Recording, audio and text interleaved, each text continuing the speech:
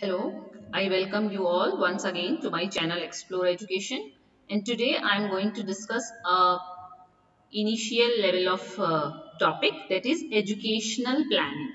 Okay, Shakshik Niyojan and I am Dr. Rashmi Singh, Assistant Professor, Department of Education, SS Khanna Girls College, University of Allahabad and this is my email ID. The lecture will be in bilingual mode means beneficial for Hindi as well as English medium students. subscribe my channel if you like my content and to get my future videos too. Okay, so let's start.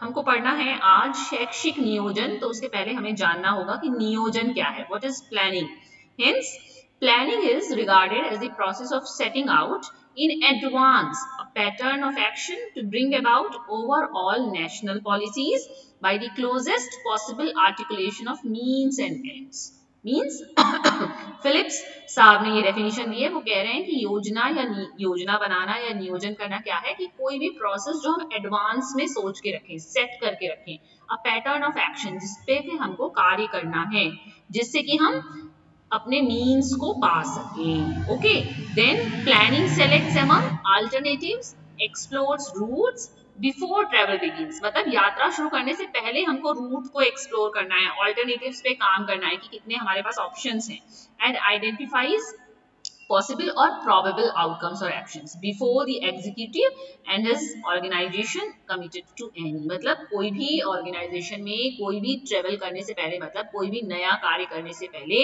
हमको उसके possible root alternative सब पर काम करना होता है planning का मतलब ये है और हम बेस्ट पॉसिबल आउटकम या एक्शन को चुन सके। और तो हम इससे क्या निकाल सकते हैं कि the essence of planning is यानी कि प्लानिंग या नियोजन का सार क्या है? असेसमेंट हमको आकलन करना है किसका? एज मैनी ऑपरेशनल अल्टरनेटिव्स यानी कि जितने भी हमारे पास ऑप्शंस हैं, जितने भी ऑपरेशनल ऑप्शंस हैं एज पॉसिबल जितने भी पॉसिबल हैं and then selecting the best for launching action यानी कि एक्शन कार्य क्रियात्मक क्षेत्र में जाने से पहले बेस्ट ऑपरेशनल अल्टरनेटिव को हमको चुनना है। ओके? यही है नियोजन। तो नियोजन की क्यों आवश्यकता पड़ती है? Planning is essential for development of every nation प्रत्येक राष्ट्र के लिए ज़रूरी है। बिना योजना बनाए हम कहीं भी किसी भी क्षेत्र में तरक्की नहीं कर सकते।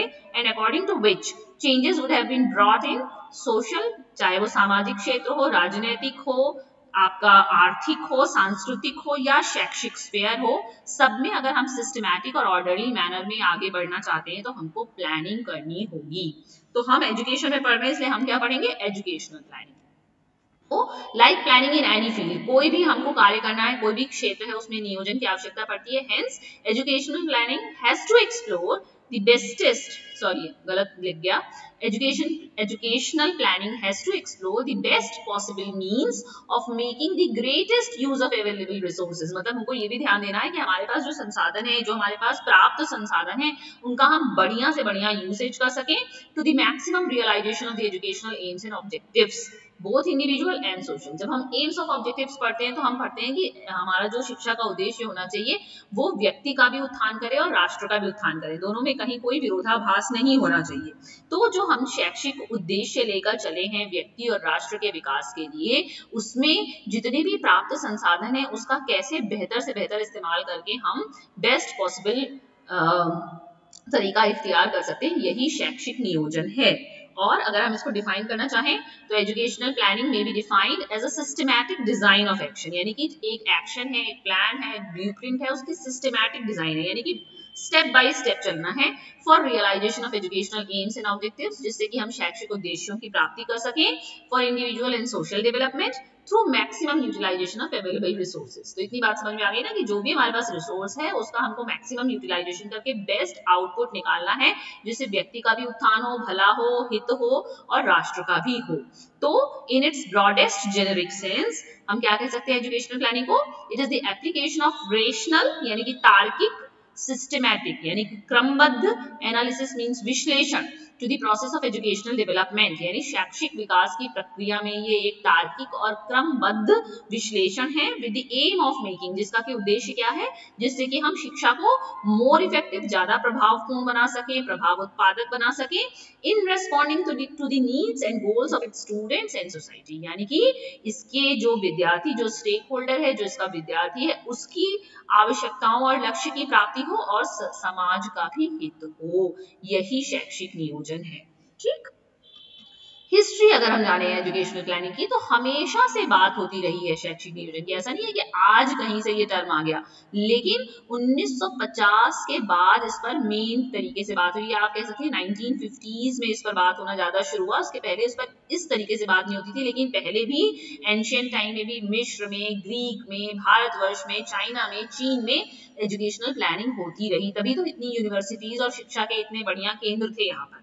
हम्म लेकिन अगर हम अर्लिएस्ट मॉडर्न अटेम्प्ट देखें तो हमको एजुकेशनल प्लानिंग सबसे पहले मिलती है सोवियत यूनियन में यंग सोवियत यूनियन में 1923 में पहले प्रथम पंचवर्षीय योजना जो वहाँ पर बनी, वहाँ पर योजना बनाई गई शैक्षिक नियोजन की, कैसे कैसे हमको क्रमबद्ध तरीके से अपने उद्देश्यों को पा लेना है।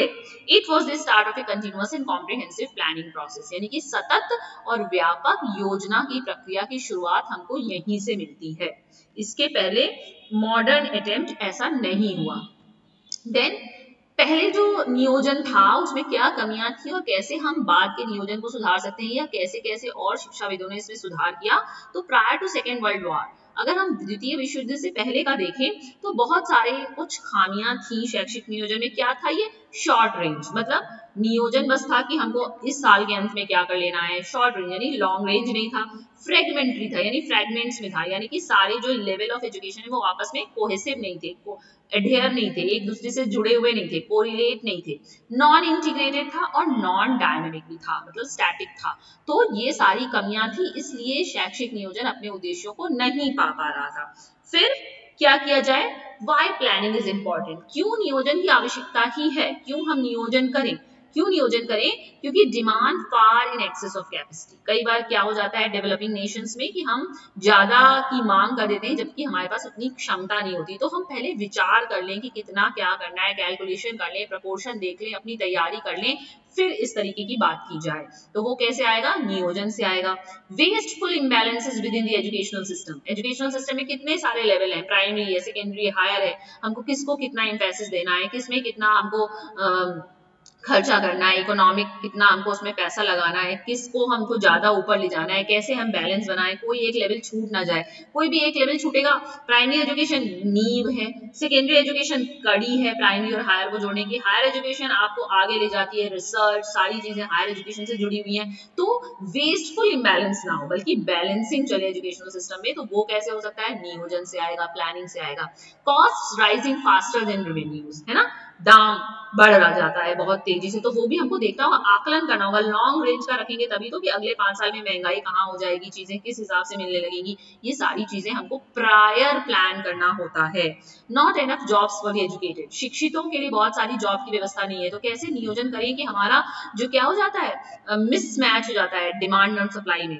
इंडस्ट्री को क्या चाहिए और प्रोड्यूस हम क्या कर रहे हैं? उसके बीच में मिसमैच ना हो और जो भी एजुकेटेड निकले, सबको जॉब मिले, वो भी प्लानिंग से आएगा। नॉन फाइनेंशियल बॉटलनेक्स हमेशा मनी ही एक हर्डल नहीं प्रदान उत्पन्न करता है कि सिर्फ़ पैसा नहीं था, इससे काम नहीं पाया। बल्कि प्रशासनिक लेवल पे एडमिनिस्ट्रेटिव लेवल पे, कई लेवल पे ये बॉटल हमको मिलते हैं तो उनको हमको कैसे कैसे दूर करना है? And the wrong kind of education आज के जमाने में अगर हम उन्नीसवीं शताब्दी की शिक्षा देंगे तो कैसे काम चलेगा? मतलब हम अपने लक्ष्य को हासिल नहीं कर सकते। हमें तो और आगे बढ़कर शिक्षा देनी है। वाई बिकॉज़ कि आज जिसको हम तैयार कर रहे हैं, उसको जॉब अगले पाँच साल बाद मिलेगी। तो हमको अगले पाँच साल के हिसाब से तैयारी करनी है। उस हिसाब से पढ़ाना है। उस हिसाब से हमको ग्रेजुएट्स तैयार करने हैं। तो ये सारा कुछ कैसे आएगा? प्लानिंग से। इसलिए प्लानिंग ज़रूरी है। न्यू एग्रीमेंट क्या था? जो पुरानी कमियाँ थी, उनको दूर किया गया as early as in nineteen चालीस, बीस, साठ, बासठ साल हो चुके हैं। हम्म बहुत पुरानी बात हो गई है। लेकिन तब ये तय कर लिया गया कि शैक्षिक नियोजन क्या होगा। It should take a longer range view यानी कि हमको एक, दो साल की प्लानिंग नहीं करनी, कम से कम पाँच साल, दस साल। आप देखते ना, योजनाएँ बनती है कि हम अगले दस साल में ये लक्ष्य हासिल करेंगे। तो हमको लॉन्गर रेंज व्यू रखना है। इट शुड बी कॉम्प्रिहेंसिव ये व्यापक होना चाहिए। It should be integrated with plan of broader economic and social development ये नहीं कि सामाजिक विकास में हम कुछ और सोच रहे हैं और नियोजन हमने कुछ और किया है शिक्षा के क्षेत्र में। क्यों? क्योंकि शिक्षा सामाजिक एक प्रक्रिया है ना तो जुड़ी हुई है। इकोनॉमिक सोशल डेवलपमेंट सबके साथ इंटीग्रेटेड होना चाहिए हमारी planning then it should be an integral part of educational management क्यों? क्योंकि सारा कुछ आप जो प्लानिंग करेंगे वो मैनेजमेंट के थ्रू ही पास होना है, इसलिए आपको उसको साथ में लेकर चलना होगा. And it must be concern with qualitative aspects of educational development not merely with quantitative expansion यानी कि हमको सिर्फ़ मात्रात्मक नहीं बढ़ाना है कि बस हमको दस हज़ार स्कूल कॉलेज खोल देने बल्कि उनकी गुणात्मकता पे भी ध्यान देना है क्वालिटेटिव आस्पेक्ट पे भी काम करना है। ये सारी बातें इतने साल पहले तय कर ली गई कि शैक्षिक नियोजन जब होगा तो इन इन बिंदुओं को ध्यान में रखकर होगा।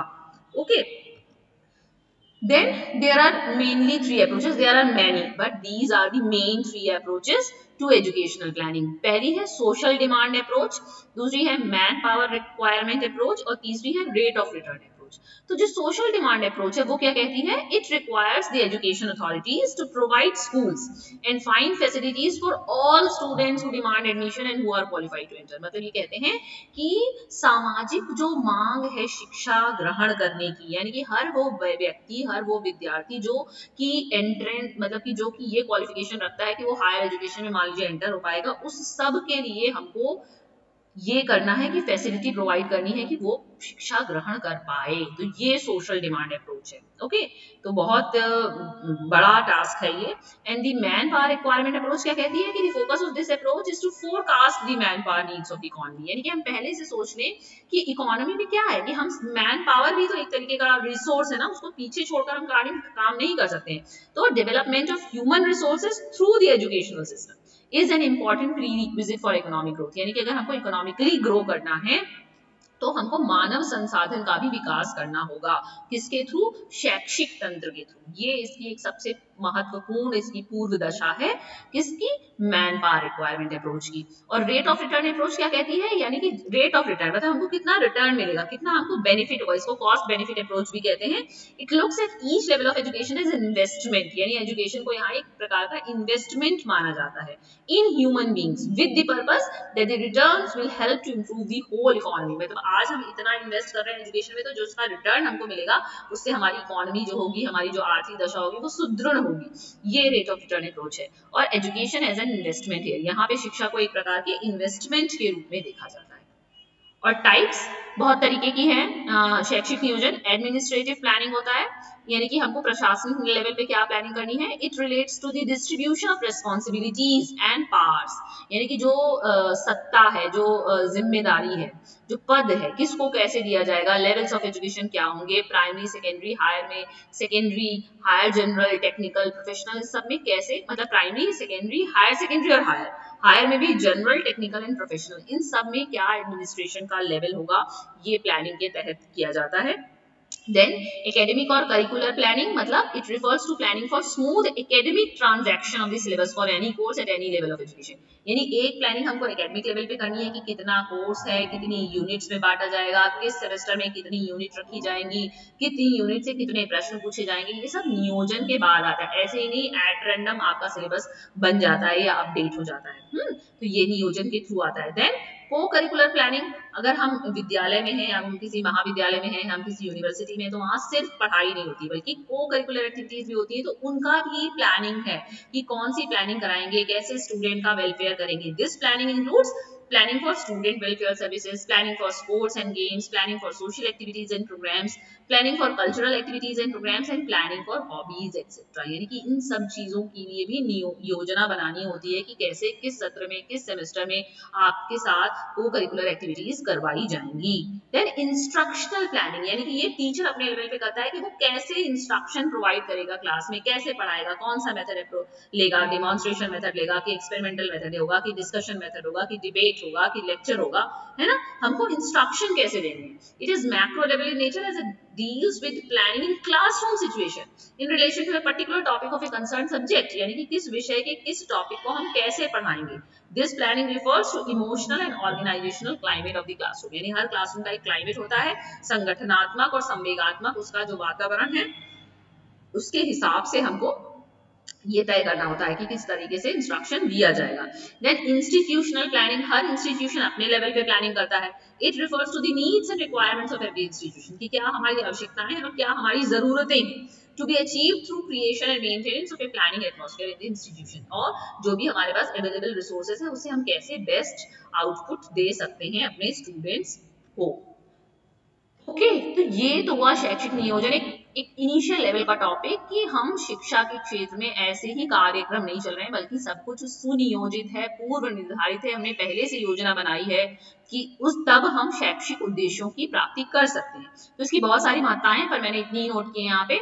To make every programme of an educational institution or organisation grand success कुछ भी हम लॉन्च कर रहे हैं, कोई प्रोग्राम लॉन्च कर रहे हैं, कोई एक्टिविटी कराना चाहते हैं, वो कैसे सफल हो, उसके लिए नियोजन ज़रूरी है। Planning is an effort saving and an money saving activity यानी धन की भी बचत होती है और आपके प्रयासों की भी बचत होती है अगर हम योजना बनाकर चलते हैं तो। It is a sound method of solving educational problems by avoiding the trial and error method of doing things यानी कि ऐसा नहीं कि हम ट्रायल एंड एरर करते हैं कि इस बार फेल हो जाएँगे तो ये नहीं करेंगे फेल हो जाएँगे तो ये नहीं करेंगे, बल्कि योजना बनाकर चलेंगे। Then, it is essential for the best utilization of available resources. जो भी आपके पास संसाधन है, उसका बेस्ट यूटिलाइजेशन हो सके, इसके लिए ज़रूरी है। It checks wastage and failure ये आपके वेस्टेज को रोकता है, आपके असफल होने को रोकता है and contribute to the smoothness ease and efficiency of the administrative process in the field of education है ना? Then through proper planning in education education can be the best means by which society will preserve and develop its future value system क्यों? क्यों इतना सब कुछ शिक्षा के लिए किया जा रहा है? क्यों शिक्षा ही वो साधन है, वो बेस्ट साधन है, जिससे सोसाइटी प्रिजर्व कर सकती है अपना value system then through proper educational planning the means and ends of the society can be properly interacted through educational system educational planning is highly essential for preparing a blueprint or plan of action for every programme of an educational institution or organisation यानी कि अगर हमने planning की और हम successful हुए तो हम अपनी प्लानिंग शेयर कर सकते हैं बाकी इंस्टीट्यूशंस के साथ भी। And planning in education is necessary for making one's educational journey goal oriented and purposeful यानी कि हमको सोदेश्य पूर्ण कार्य करना है। बस ये ऐसे नहीं, कुछ भी नहीं करना है। इसलिए कि हम गोल की प्राप्ति कर सकें और उसके लिए जो हमारे पास रिसोर्सेज थे, उससे हमें बेस्ट आउटपुट तभी निकाल सकते हैं जब हम योजना बनाकर चलेंगे कि हमको किस कार्य को कैसे सिस्टमैटिक रेशनल तरीके से करना है।